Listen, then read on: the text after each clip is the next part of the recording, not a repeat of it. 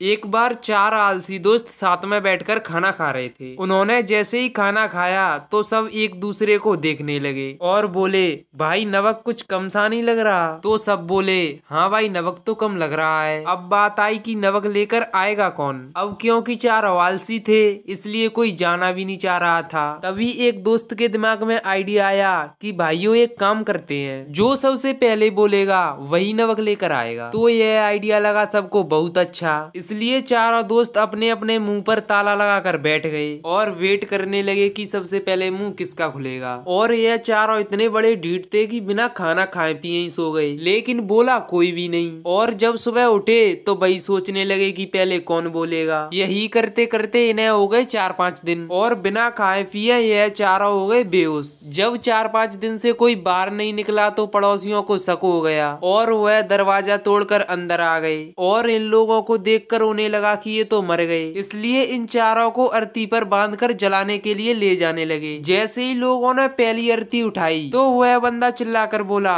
भाई मैं तो ज़िंदा हूँ। और यह सुनते ही बाकी के दोस्त तुरंत बोले सबसे पहले बोला जा नमक लेकर आ।